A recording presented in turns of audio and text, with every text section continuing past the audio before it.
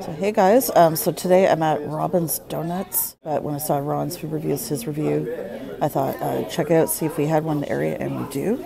Um, I thought check out their steak and egg sandwich, see how it is. Um, before I get into that, uh, just a reminder guys, check out the video on the end screen. And um, if you're watching this, you're not yet subscribed, you like food reviews, um, snack reviews, that kind of stuff, and ring that bell, make sure it's set to all notifications. Do this, try this out.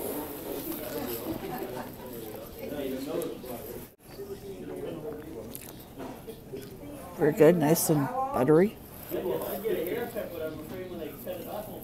and um, probably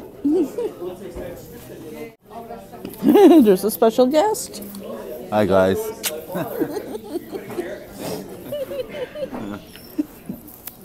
he says hi without me choking on my food here.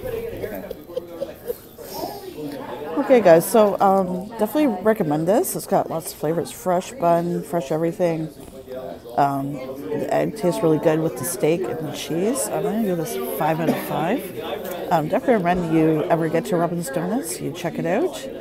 Um, that being said, guys, let me know in the comments what your favorite breakfast place is or your favorite breakfast item. And don't forget to share um, this video, like, subscribe, and have a good day, everybody. Thank you for watching. Bye.